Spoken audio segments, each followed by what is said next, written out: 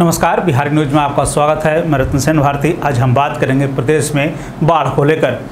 पड़ोसी देश नेपाल में लगातार भारी बारिश के कारण कोसी नदी में बाढ़ से तबाही शुरू कर गई है। पड़ोसी देश नेपाल में लगातार भारी बारिश के कारण कोसी नदी में बाढ़ से तबाही के हालात शुरू हो गए हैं। सुपौल के निर्मली अनुमंडल क्षेत्र में कोसी तटबंध के भीतर बसे कई गाँवों में बाढ़ का पानी तेज़ी से फैल रहा है। कई घरों में बाढ़ का पानी घुस गया है। वहीं जरौली, हरियाली में कई खेतों में पानी घुस गया है, जिससे कि खेत में लगी फ़सलें डूब गई हैं। एक तरह से कह लें कि बर्बाद हो गई हैं। बाढ़ के कारण जगह जगह सुरक्षा बाँध और स्परों में कटाव हो रहा है। हालाँकि सुरक्षा तटबंध पर, स्परों पर कटाव को रोकने के उद्देश्य से जल संसाधन विभाग की टीम काम कर रही है और जगह जगह कटाव निरोधी काम भी युद्ध स्तर पर किए जा रहे हैं। हालाँकि इस दौरान लोगों को काफ़ी परेशानी का सामना करना पड़ रहा है। तटबंध से सटे इलाकों में लोगों को अपने घर छोड़कर जाना पड़ रहा है, साथ साथ यातायात के साधनों में भी काफ़ी समस्या का सामना करना पड़ रहा है।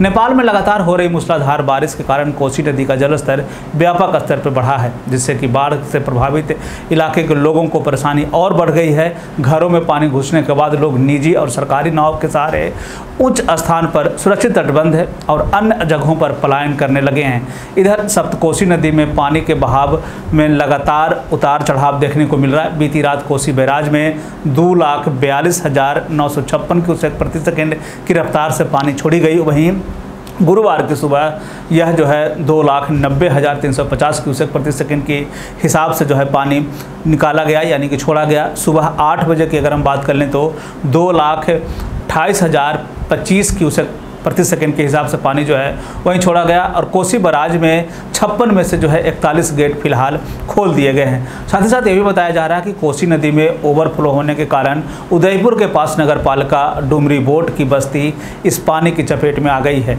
इधर जिलाधिकारी ने बताया कि सप्तकोसी में पानी के बहाव बढ़ने के बाद से गोबरगढ़ा, उदयपुर में बेलवा नगर पालिका में डुमरी बोट व उत्तर के लखखोच में भूमि का कटाव जो है, वो भी बढ़ता जा रहा है। गंडक नदी के जलस्तर बढ़ने से गुरुवार को तिरहुत तटबंध के भीतर भी सड़कों पर दो से तीन फीट का पानी चढ़ गया। इस दौरान ग्रामीणों के बीच में आवागमन की काफ़ी समस्या का सामना करना पड़ है। वहीं बंजरा निजामत के महादलित बस्ती में पानी घुस जाने के कारण 50 से अधिक परिवारों को तिरहुत तटबंध पर शरत लेना पड़ा।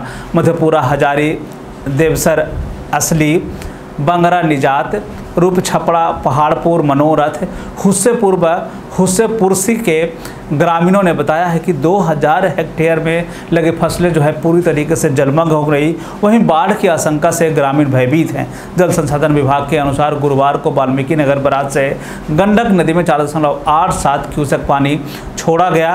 बता दें कि पिछले दिनों उत्तर बिहार के सभी जिलों में हुई बारिश और उसके बाद नेपाल में हो रही बारिश के बाद से बिहार में बाढ़ जैसे हालात उत्पन्न हो गए। कोसी गंगा, गंडक और बूढ़ी गंडक के जलस्तर में लगातार बढ़ोतरी देखने को मिली है। वहीं बागमती के जलस्तर में थोड़ी कमी ज़रूर देखने को मिली है। मुजफ्फरपुर शहर के ब्रह्मपुरा और बटलर रोड, लीची बागान रेलवे कॉलोनी व इसके सटे मोहल्लों के घरों में पानी घुस गया। जल निकासी की पूर्ण व्यवस्था नहीं होने के कारण घरों के अंदर भी घुटने तक का पानी प्रवेश कर गया है। ऐसे में इन इलाकों में भी लोगों को भारी परेशानी का सामना करना पड़ रहा है। तो एक तरह से कहलें कि बाढ़ की जो स्थिति है, उसको देखते हुए ये कहा जा रहा है कि जिस तरह से गंगा, गंडक और बूढ़ी गंडक नदियों के जलस्तर में लगातार बढ़ोतरी और नेपाल में हो रही बारिश के बाद से जिस तरह से बराजों से पानी छोड़ा जा रहा है, उसके बाद से रिहायशी इलाकों में जो है पानी घुस गया है और जल संसाधन विभाग लगातार उसको लेकर काम कर रहा है ताकि तटबंधें जो है सुरक्षित हो सकें और लोगों को जितनी जल्दी हो सके ऊँचे स्थानों तक पहुँचाया जा सके ताकि जान माल की क्षति